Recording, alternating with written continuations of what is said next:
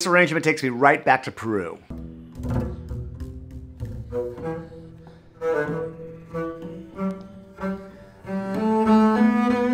What's going on? It's Jason Heath and Lloyd Goldstein has put together a wonderful arrangement of El Condor Pasa. It's available in our sheet music store, which you can find through the link below. And let's hear a little bit about Lloyd on this piece and hear him play it.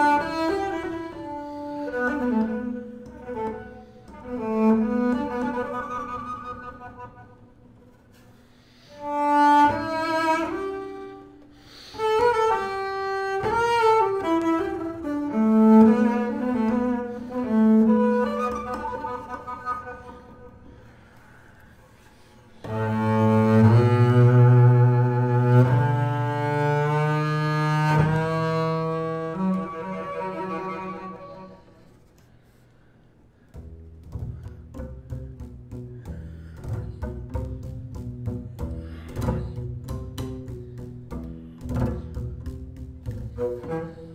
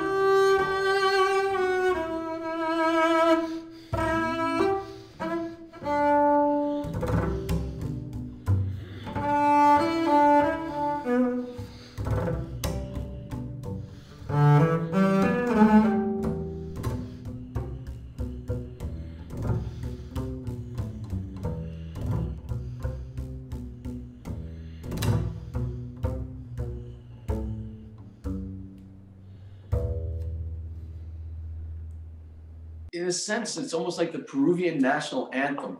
It started out as a, an original piece written, I think, in the 30s by someone named Daniel Alomía Robles. And then Simon Garfunkel in the 60s took this piece and, and made, um, wrote their own lyrics to it and, and made this thing world famous, this piece, which you would recognize. It's the one that says, um, I'd rather be a hammer than a nail if I could. Um, and um, it went back to Peru, circled back to Peru, and now like every Peruvian musician has to. I don't know if they love it or hate it at this point, but they they have to play it. So I listened to a bunch of pieces on uh, a, a, number of performances on YouTube, which is of course our modern day um, muse or something, a way to find ideas. You know, uh, which I wish which didn't ha- have when I was uh, a student, and um, I heard this flute, the one, the, this beautiful, I don't know if it was a bamboo flute or what it was, but it was a Peruvian flute. This guy standing on the edge of a mountain playing this opening on this flute. And I thought, oh my God, that's fantastic. So I wrote some very high notes at the beginning using some of the harmonics up at the end of the fingerboard and so on to try to emulate this flute. And then um, there's a thing called a cuatro, uh, it's a it's a little tiny guitar-like instrument, and they do a stroke like something like this, and that gave me the idea for the ricochet section that keeps coming back um, in the uh, in the in the piece over and over again um, as a kind of a rhythmic um, motor for the thing. So it's combining this beautiful melody uh, with this ricochet and back and forth. And I again, it's a, it's very simple, very simple tune, but it combines some beautiful um, techniques that we can do and textures, different textures. That's the other thing I'm looking for in sharing music with people is a variety of textures and colors. And this is a nice contrast. Like if I would play Let It Be and maybe follow with this, we have a nice piece with big resonance in the key of A. Now we have this delicate thing um, that's um, that's uh, and using completely other textures off the string, you know, so on. So I really enjoy this piece a lot. I remember going to Peru myself, taking students down about 10 years ago and working on some arrangements of this. So wonderful. Again, the way that it sits on the bass from Lloyd is, it really brings Lloyd's spirit into the music and it's just absolutely wonderful. So that's quasi Ponticello.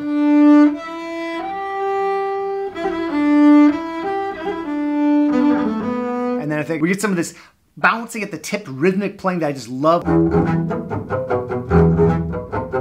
So alternating melodic fragments and this bouncing, moving through different keys, then all of a sudden we get into this big multi crescendo. It's almost like using a guitar pick and getting this sort of effervescent quality, this ringing quality into these nice melodic pieces. Just wonderful